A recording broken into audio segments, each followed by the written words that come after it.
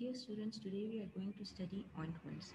Now, ointments, creams and pastes, lotions and liniments, these all fall under the heading of semi-solid dosage form. Now, what is semi-solid dosage form? Semi-solid dosage form, basically, it consists of products having semi-solid consistency, which means your product here, wo na to completely solid hai, not completely liquid hai but it is semi-solid consistency. And such products, they are basically used on the skin and on the mucous membrane for the therapeutic effect कोई भी जो उनका medicinal effect है, वो produce करने के लिए, और for the protective action for example जिस तरह के आप सनस्क्रीन लोशंस यूज़ करते हैं to protect the skin from the sunlight and to protect your skin from the tanning effect of the sunlight और to protect the skin uh, for, for, of those people whose skin is photosensitive. So, uh, and similarly, uh, these semi-solid uh, products they are also used for the cosmetic purposes, which means for the beautification of the skin. And these uh, semi-solid dosage forms basically they are of two types like medicated and non-medicated. Medicated uh, semi-solid uh, uh, semi-solid uh, forms of the they have they will have the medicated ingredient included in it which will produce a particular medicinal action and will produce the treatment for a particular disease. And then the other category is non-medicated which will provide the lubrication or the lubricating of the skin emollient effect which is the soothing of the skin and the protectant uh, effect uh, to the skin.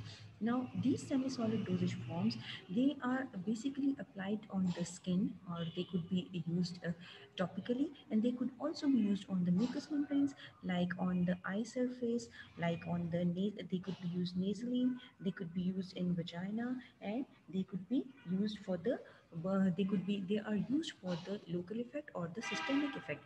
Now what is local effect? Basically it treats the particular area on which particular part of the skin particular patch on which it is applied. And systemic when it reaches the systemic circulation and it produces the systemic effect. Now, what are ointments? Ointments basically they are greasy or oily semi-solid preparations which I have already explained to you. And normally ointments are medicated.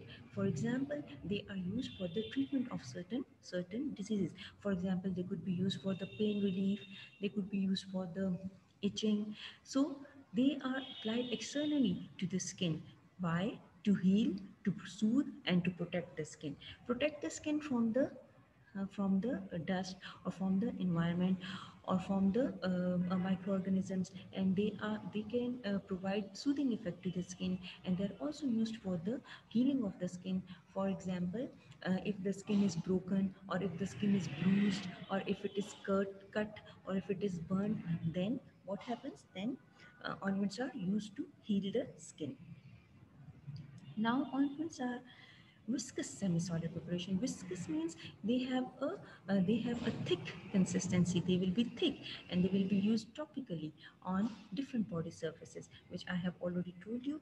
And the drug ingredients or the active pharmaceutical ingredients, they are uh, dissolved or they are emulsified or they are suspended in the ointment, ointment base. Now there are different kinds of ointment bases which we will uh, study in detail in the coming slides. In the basis they are basically divided into five parts.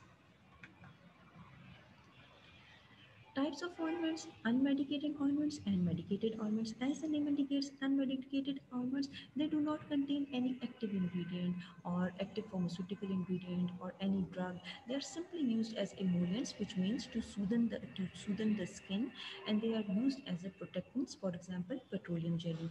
Petroleum jelly, for example, in the winter season, your uh, the skin of the hands and feet, it becomes very dry or the lips, they become chapped or the skin of the face, it becomes very dry dry. So in the winter season, we use normally petroleum jelly. Why? To, to make our skin soft, to make the skin of the hands and feet soft and to, to avoid the chapping of the lips. Similarly, medicated uh, ointments, they are, uh, they as uh, by the definition, by the name, they indicate that medicated ointments, they contain drugs and drugs are active pharmaceutical ingredient and hence they show a, a local effect or systemic effect.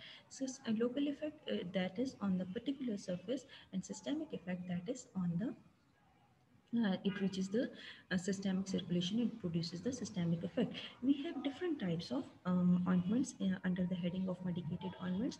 For example dermatological ointments which are used for on the skin ophthalmic ointments which are used on, uh, on the surface of eyes rectal ointments which are used in the rectum and vaginal ointments which are used for the treatment of the vaginal infections on the uh, in the vagina nasal ointments which are used for the uh, for the which are used nasally for the treatment of uh, treatment of different diseases. Now, dermatological ointments, they are applied externally. For example, they are applied externally on the skin and uh, to the particular part or the area which is affected. And these ointments, they are applied in the form of a thin layer and then they are spread evenly with the help of uh, your fingertips using uh, slight pressure.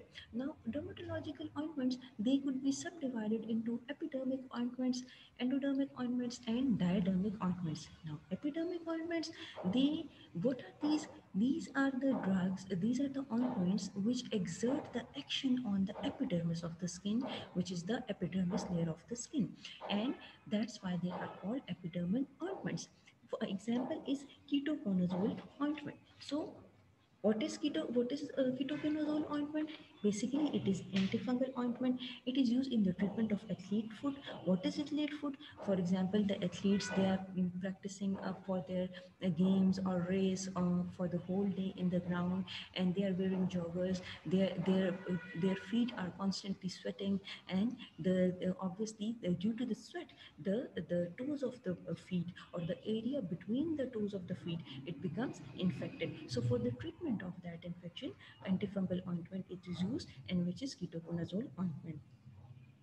Now ketoconazole ointment, it is also used for the ringworm infection. It is also used for seborrhea. What is seborrhea? That is the dandruff or the drying or the flaking of the skin. So, the, so, so basically dandruff, it is also a fungal infection. There, there is dryness of the scalp of the skin and which causes itchiness and which causes the hair loss, hair start falling. So the dandruff, it should not be left untreated. It should be treated. Then we have endodermic ointments.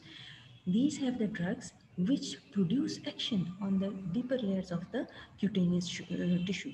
An example is Demodex ointment. Now, Demodex ointment, what happens actually, there, there is Demo, Demodex uh, mites, which, which in affect the lashes, eyelashes. So, for Demodex ointment is used for the treatment of the infection caused by that mite, which is called Demodex. And for the uh, for that infection, mm, for the infection of uh, uh, uh, caused by these mites, uh, metronidazole antibiotic is also used. Now, there is diadermic ointment in which the drugs, they penetrate in the uh, deeper layers of the skin and then they reach the systemic circulation and then they exert the systemic effect. An example is nitroglycerin ointment. Now, what happens nitroglycerin ointment? It is used to relieve the pain. Where? In the anus. How? It relaxes the muscles around, around the blood vessels, decreases the pressure inside the anus, and it relieves the pain. Then we have ophthalmic ointments. Uh, so ophthalmic ointments as they are uh, used on the surface of the eyes. So what happens uh, or they could be used in, in the lower uh, um, eyelid for the treatment of different eye diseases or infections or redness or itching or, or any type of allergy. So these ointments, they should be sterile the first point is that they should be sterilized so they are applied inside the lower eyelid and what sort of uh, ointment base is used for the preparation or formulation of ophthalmic ointment anhydrous base is used? Now how these ointments are applied? They are applied as a very narrow band having a width of 0.25 to 0.5 inches and the example is sul uh, sulfacetamide sodium ointment. Then we have rectal ointments. So rectal ointments, they are applied in the perianal uh, area or within the anal canal. Now, what is perianal? Perianal means around the anus, and anal canal, anal canal basically it, it is the large intestine, uh, perineum below, uh, and rectum above. So this is the anal canal. So bases uh, which are used in the preparation of uh, rectal ointments, they include the combination of polyethylene glycol of different molecular weights. For example, PEG 300 and PEG 335 they are used in combinations. Then cetyl alcohol is used cetyl esters are used waxes are used liquid paraffin and white paraffin are used. An example is benzocaine ointment now, what is cetyl alcohol? Basically, cetyl alcohol, it helps to soft the skin. It is used as a stabilizer. It stabilizes the, uh, the preparation. It thickens the preparation. It produces a soothing effect. It heals the, heals the dry, uh, dry skin.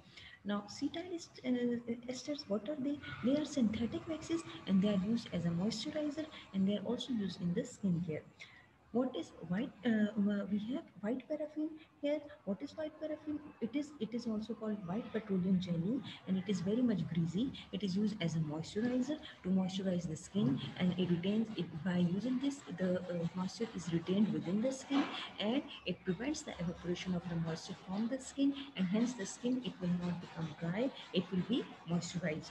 And the example is benzocaine ointment Benzocaine ointment, it is used as a local anesthetic and it is also used for to relieve the pain. Now there is local anesthetic. Local anesthetic means that the it will cause the numbing of the particular area on which the on which anesthetic has been applied. But the general anesthetic it is different. It, it means that it will produce the sleep and it will cause the uh, it will it will cause the general uh, anesthesia.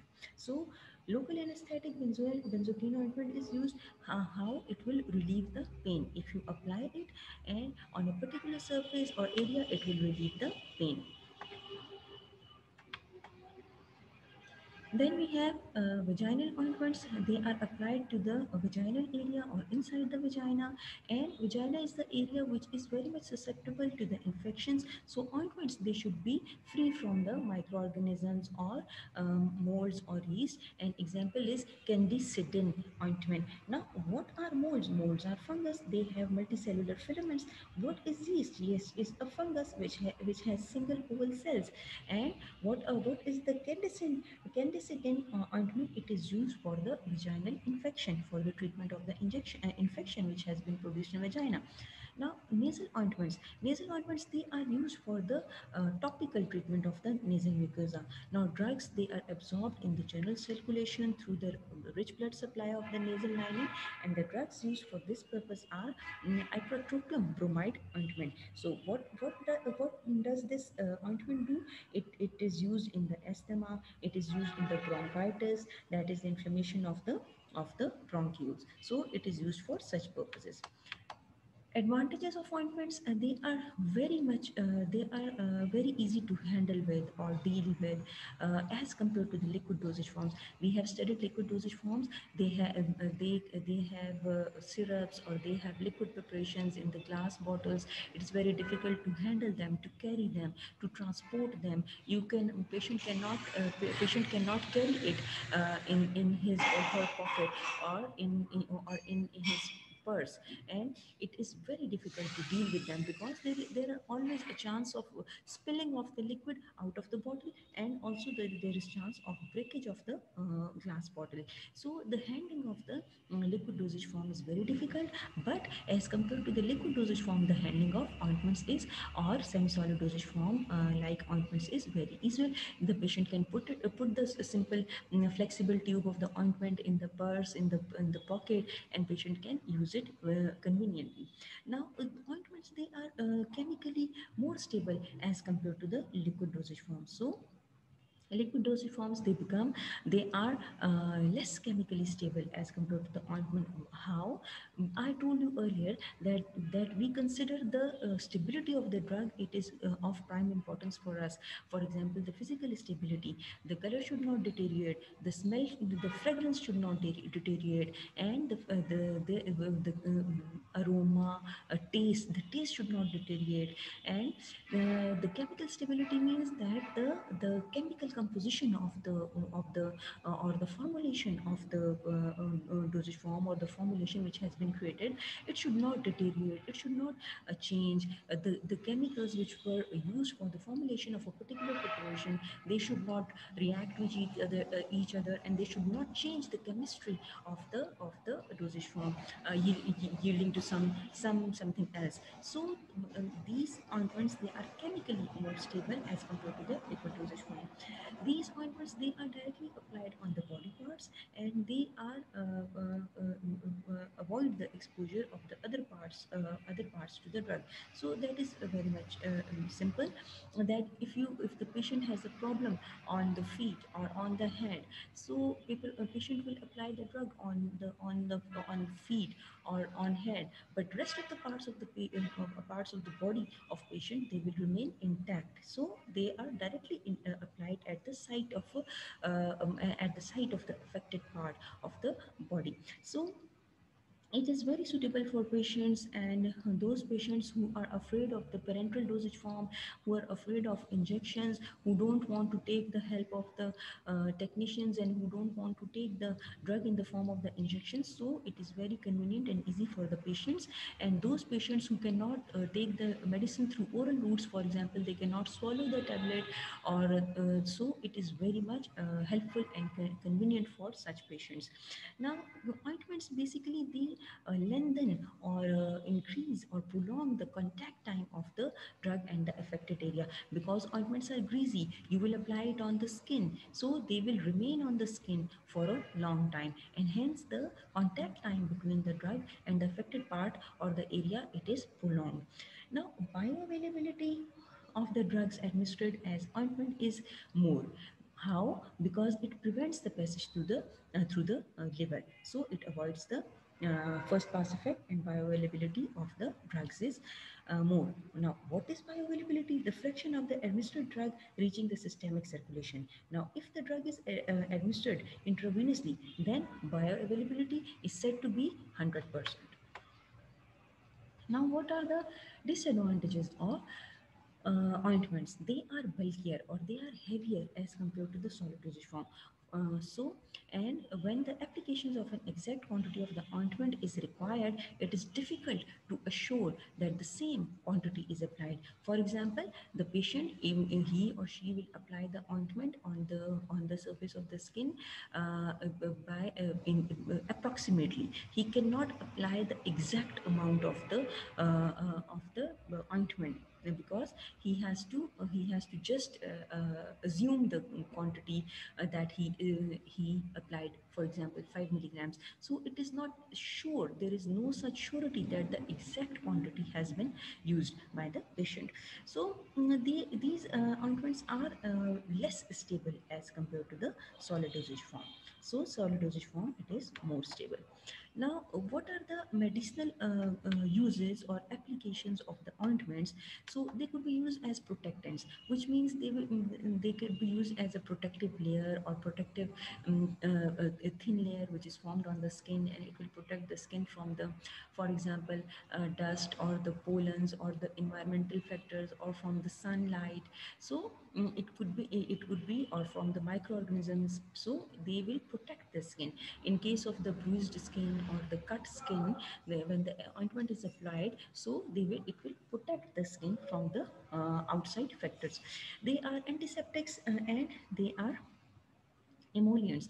Emollients which means uh, they will produce a soothing effect a softening effect uh, on the uh, skin. Then they are used as antipruritics to reduce the itching uh, and they are used as keratolytics which means the excessive uh, skin which is formed uh, it is used for the uh, for for the keratolytic action. For example calluses corns this is the this is the excessive skin which is formed.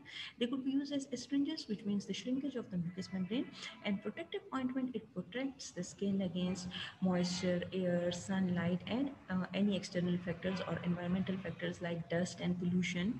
Antiseptic ointment it is used to destroy the uh, bacteria or microorganism or stop the growth of the bacteria. So uh, antiseptic oil, uh, ointment it could it could have the bacteriostatic effect or the bactericidal effect and now bacterial infections, these are uh, often uh, very uh, deep, deep-seated. And so a base which should be used for the preparation of the ointment, it should have the capacity to penetrate the deep layers of the skin and release the medication very effectively and very properly as it is required or needed. Now, um, ointments which are used for the um, emollient effect, they should be very easy to apply, they should be non-greasy, they should not damage the dress they should be uh, easy to apply and they should uh, also penetrate the skin which means they must ha must have the penetrating power now, preparation of the um, uh, ointments, um, we have two methods. One is incorporation method and the other one is uh, fusion method. Okay. Now, incorporation method, what, what is done? The components of the, um, or the ingredients or the components of the formulation, they are mixed until and unless a uniform, very, uh, very uh, grit-free uh, uniform preparation is, is made. Now, on, on small scale, extemporaneous compounding is done. Now, what is extemporaneous compounding? It is the preparation of the therapeutic product for the individual patient in response to the identified need. आपने क्या करना है extemporaneous compound एक particular patient के लिए particular individual के लिए एक थेरेप्यूटिक प्रोडक्ट जो है वो बनाया जाता है according to the identified identified need of that patient and what happens uh, um, uh, the pharmacist if, he or she they can mix the components using mortar and pestle which you have already seen in the lab आपने इसको lab में mortar and pestle को use भी किया है and spatula भी use कर सकते हैं uh, to rub the ingredients together on an ointment slab ointment slab you have seen in the lab so these are the uh, these are the uh, uh, you can say apparatus this is the apparatus which could be employed or used for the preparation of the ointment on the small scale mortar and pestle and uh, and slab and spatula and the ointment slab it could be made up of uh, glass or it could be made up of porcelain plate or it could be a tile now on uh, some, uh, what happens uh, ointment mill it is also used for the preparation of ointment and what does the ointment mill do it basically uses force which is created by the rollers to decrease the particle size or to disperse the agglomerates जो उसका जो particles जो इकट्ठे हुए हैं उनको disperse करने के लिए यूज़ होता है and to homogenize the viscous material जितना भी आपका विस्कस मटेरियल है उसको होमोजीनियस बनाने के लिए यूनिफॉर्म बनाने के लिए ointment Means they are used. Now, uh, uh, when you, uh, you want to prepare an ointment by using spatulation with the help of a spatula and ointment slab, the pharmacist uh, uh usually makes the ointment with a stainless steel, steel spatula, which has a very long and broad blade, and he and, and removes the accumulation of the ointment on the large spatula with the smaller spatula. But in case of the metals there are certain metals which could react with the uh, uh, uh, there are certain metals which could react with the spatula. So in that case the rubber, rubber spatula will be used okay? So if if you're using a metal spatula and you are working with iodine then you then iodine will react with the metal uh, of the spatula. So you will not use metal spatula in that case. You will be using rubber spatula in that case because rubber, rubber, rubber spatula, rubber is inert, it will not, it is chemically inert, it will not show or uh, indicate or, uh, mm, or uh, proceed uh, with the chemical reaction. Now, incorporation of liquids. You have incorporated solids in the in the ointment uh, base uh, for the formulation of ointments, and you could also incorporate liquids uh, in the ointment base uh, for the preparation of ointments.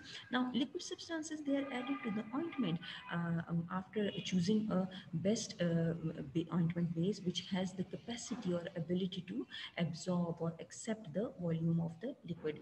Now, small amount of aqueous solution they could be uh, incorporated in oleaginous ointment and hydrophilic ointment bases they accept large amounts of uh, water or liquids now addition of aqueous preparation uh, preparation to a uh, to a hydrophobic base now, first, what happens, the aqueous solution, it is incorporated into small amount of hydrophilic base and then the mixture is added to the hydrophobic base.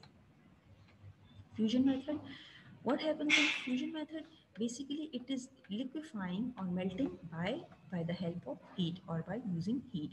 All of the components of the formulation or some of the components of the formulation they are first melted together and then they are cooled uh, with constant stirring and then they congeal.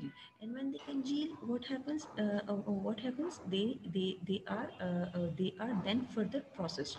Now heat liable substances which are heat sensitive they are always added at the last at the end of the formulation. When the mixture of the when the temperature of the mixture is not very high. It is very uh, low or it is enough for the uh, for that particular ingredient. So we basically do not want the decomposition of any ingredient which we are using in the uh, using to formulate the uh, the um, ointment. So heat sensitive agents they are added at the end of the formulation when the when the temperature will be very uh, tolerable for the uh, for the heat sensitive ingredients. On small scale basically um, this fusion method it is performed in a porcelain skin uh, porcelain dish or glass beaker.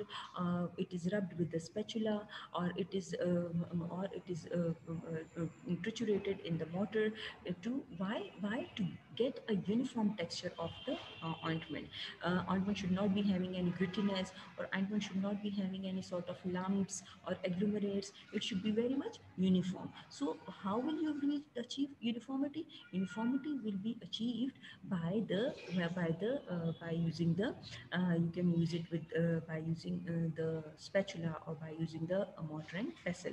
So the small ingredients they will be the all of the ingredients they will become uniformly uh, distributed and a uniform smooth texture or, uh, or um, is achieved. On large scale, uh, uh, large steam generated kettles, they are used and what happens after the congealing of the ointments, they are uh, passed to the ointment mill.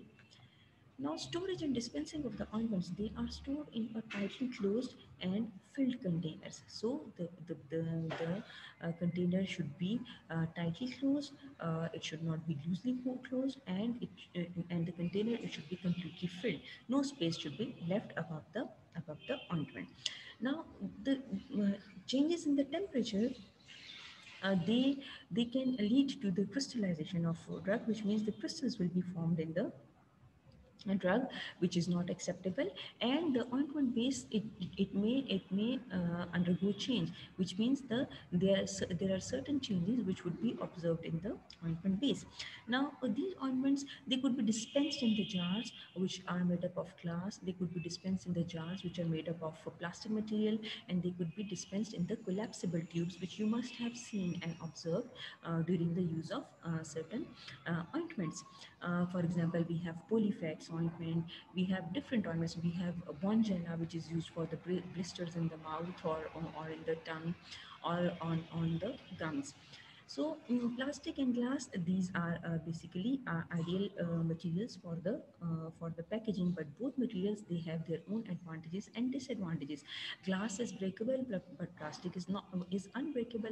Glass is heavy to carry, plastic is light to carry. So these uh, everything has its own advantages and disadvantages. It will depend on our choice of the formulation, which sort of formulation we are making, which kind of formulation we are making, and for that that particular kind of uh, uh, formulation, which sort of the container will be best suitable. If the glass is best suitable, we will use and uh, store it and uh, dispense it in the glass. And if the plastic is suitable, then we will dispense it in the plastic.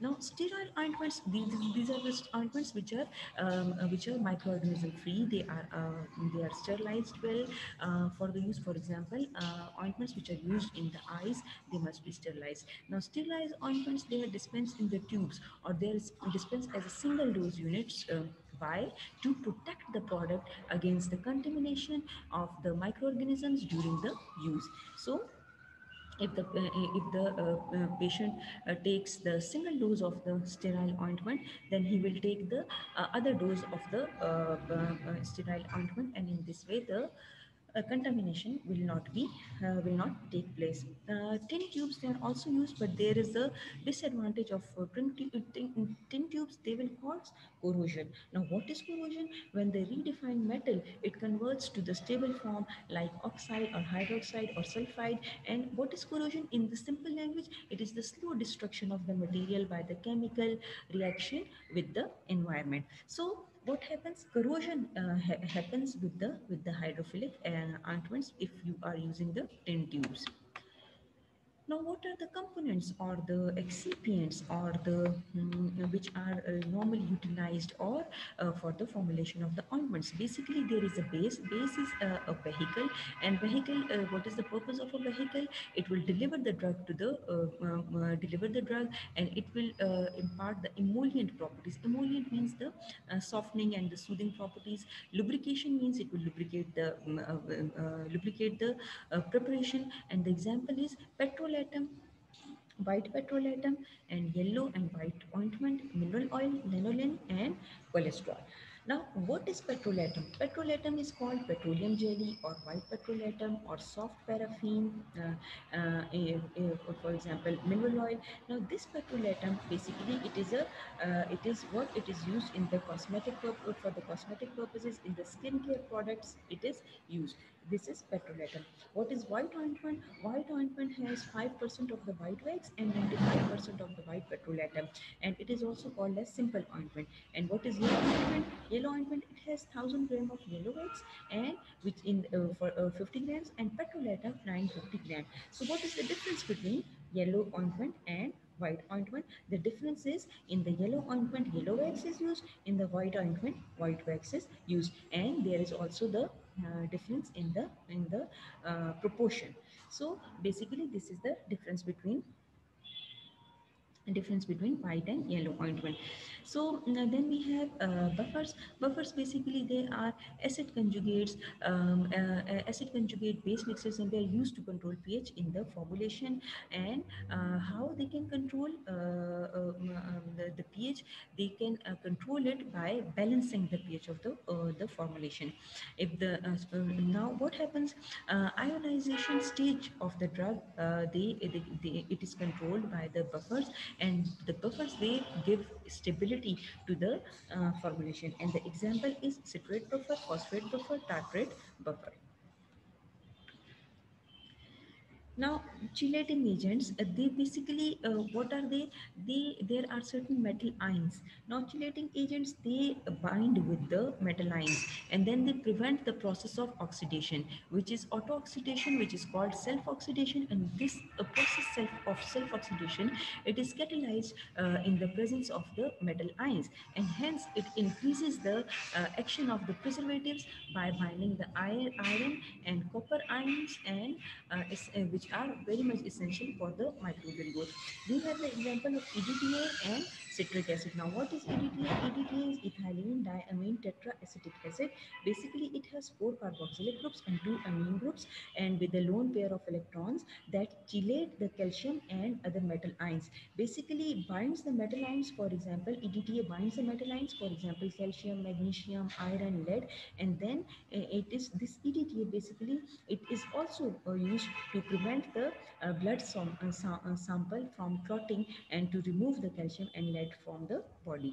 Now, emulsifying agents or emulsifiers, what, what they do, they uh, stabilize the, um, the uh, emulsion, uh, whether it is oil and water emulsion or water and oil emulsion. We have studied several examples of emulsifiers in the chapter of emulsions and emulsifiers, they also reduce the surface tension of the two phases which are present in the emulsion. As we already know that emulsions has two phases, one is oil phase and the other one is water phase and emulsifiers, they prevent the coalescence of the individual individual phases which means the two phases they should be uh, in should be separated. They should not coalesce or uh, mix together.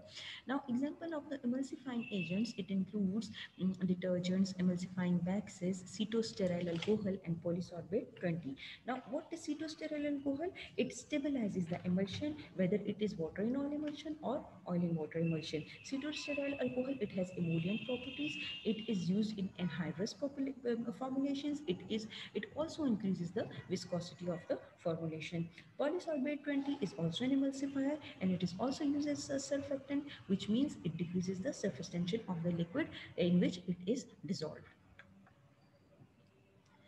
Now we have thickening agents. What happens in thickening agents? They increase the viscosity of the of the formulation. Now thickening agents they could be you can get them from uh, multiple sources like natural thickening agents, semi-synthetic thickening uh, thickening agents uh, for from from the natural source, for the from the semi-synthetic source, from the synthetic source.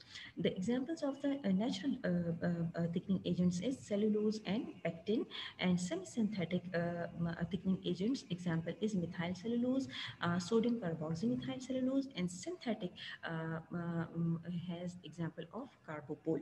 Now, carbopol it has different uh, different varieties and numbers which are put in the front of the carbopol. So, carbopol is also a synthetic um, thickening agent. Humectants which absorbs the, which retains the moisture within the skin, which prevents the escape of the moisture from the skin and hence it, it, it makes the skin uh, moisturized. It keeps the skin moisturized. Humectant, it basically uh, uh, helps in the water retention of uh, uh water retention uh, in the formulation and it on the skin humectants it, it it it keeps the skin moisturized.